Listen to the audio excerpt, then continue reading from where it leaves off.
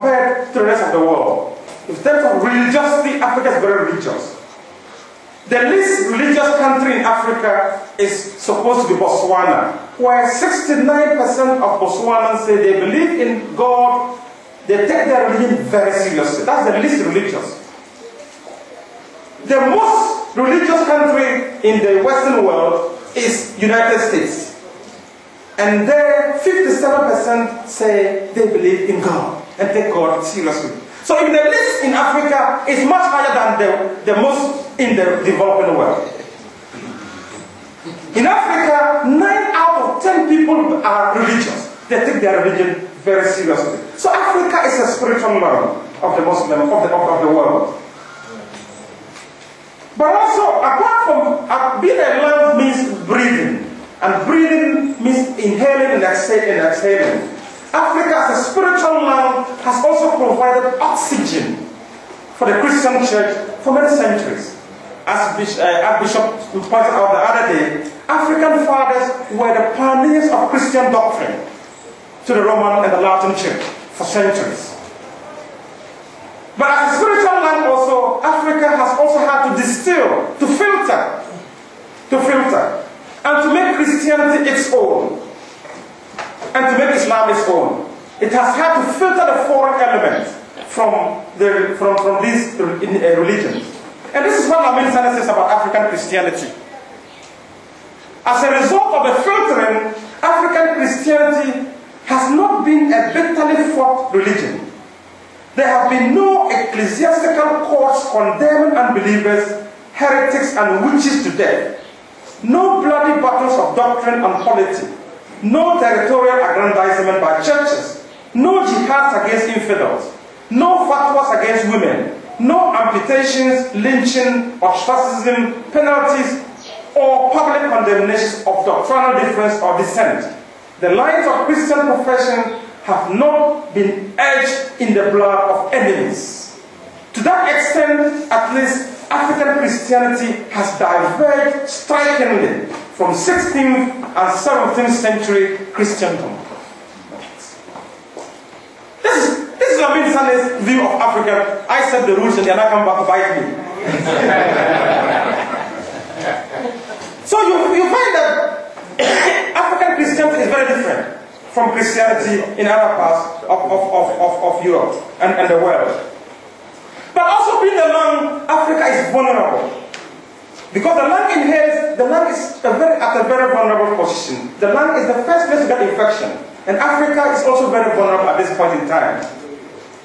Africa, most of the, even though Christianity and Islam are now very much African religions, African Christians and Muslims still look up to Europe and the West and still look up to the Middle East for their doctrinal and religious orientation.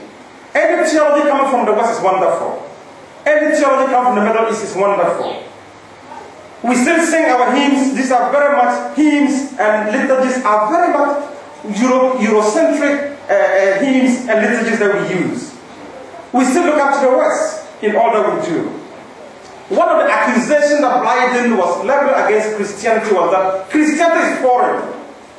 Of Islam is not foreign. Today, the situation has not changed much. After 9-11, there are many in the West who still see Islam as the enemy. Islam is the enemy. And there are many people in the West who are now, they have got money, they are coming to Africa, and they are preaching this fear. They are preaching this demonization of Islam. And African Christians are fallen to it. And this is frightening. Because we always talk about Muslims going to the Middle East and getting influence. But we, we don't talk about the fact that African Christians, we allow people to come from outside and tell us how we should relate to our Muslim neighbors. This was what Blyden and this was what Crowther refused to accept. They said, we are in Africa, we have to decide how we will deal with our Muslim neighbors. We are not going to let someone come from somewhere to tell us how we should relate to our African Muslim neighbors. And this is something that African Christians need to learn. That if we have to learn to live with Muslims, we must do this on our own. And not allow people to come from outside with their money And because of the poverty, we fall for it. They'll come and set the conference up and pay for everything. And they'll feed you with ideas that are not necessarily healthy for your context. But we will take it. And food. I want to end by saying this. And I just want to read this through quickly. Towards an African Christian response to Islam. Quickly. Yes. This is something that we have been discussing here that we should not respond to Islam out of fear and self-preservation. Respond to Islam out of fear and self-preservation has not helped the church in the past. This is what Joseph Cameron of the Yale University said about the jihad. He said, it used to be commonly said that Islam was Satan's greatest masterpiece. I believe that is not true. I believe that Satan's greatest masterpiece was the Crusades. Why? Is it because the Crusades were the worst atrocity that ever happened in history? I think Hitler was worse. Stalin was worse. Pol Pot was worse. What is so horrible about the Crusades is that it was done under the symbol of the cross that Satan succeeded in distorting the very heart of the Christian faith. The cross is at the heart of the entire Christian faith. And for the Muslims and the Jews of the world, what does the symbol of the cross now signify? The cross now signifies Christians hate you enough to want to kill you. Satan succeeded in taking the very heart of the Christian faith and turn it around to mean not just something different, but to mean the exact opposite of what it was supposed to mean. If you respond to Islam out of fear and out of self-preservation, you betray the Christian witness. You betray the Christian cause. And that, on that note, I have I had some suggestions on how, as, an, as Africans, we should respond to Islam. First, it should be biblical. That's what Ajayi Crowther said. We must respond based on our response must be biblical. He used to say he found the Bible very helpful. The second is that it has to be by the power of the Holy Spirit. This is not just against flesh and blood. The power encounters with the Sufi worldview is very important. But it also must be backed by the fruits of the Spirit. There are many Christians who use the fruits of the Spirit to preach polemics against Islam. Islam is not peaceful. Islam is not loving. Islam is not merciful. But when you ask these same Christians, let us be peaceful, let us be loving, let us be merciful towards Muslims, they say we can't do that. There's a contradiction there. Crowther also believed in the use of the vernacular. The next debate Crowther had, he used the Bible and the Quran. But he used the Bible in the Yoruba language. And he said it was so effective.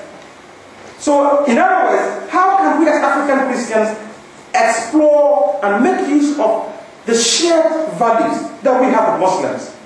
When I walk to my Muslim shops and they speak my local language and they hear the language, whatever I ask for, they'll give it to me. Language unites us. Yoruba Islam is different from Hausa Islam. There are certain common African values that tampers with Christianity Islam. And it's only when we retrieve those values that Christians and Muslim Africans can live in peace. I want to stop here for our questions.